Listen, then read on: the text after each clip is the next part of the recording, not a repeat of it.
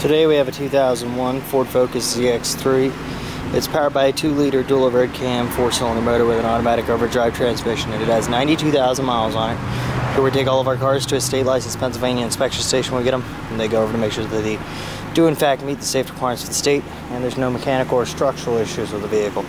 We also have a range of warranties available from just motor and tranny all the way up to unlimited mileage. You can choose the one that best suits your driving needs. All of our cars have current Pennsylvania inspection and emissions on them. Take a look inside here. It has power windows, locks, mirrors. Pretty clean car.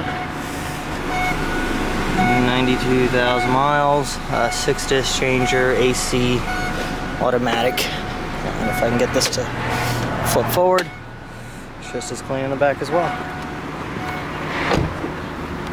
And there's your information.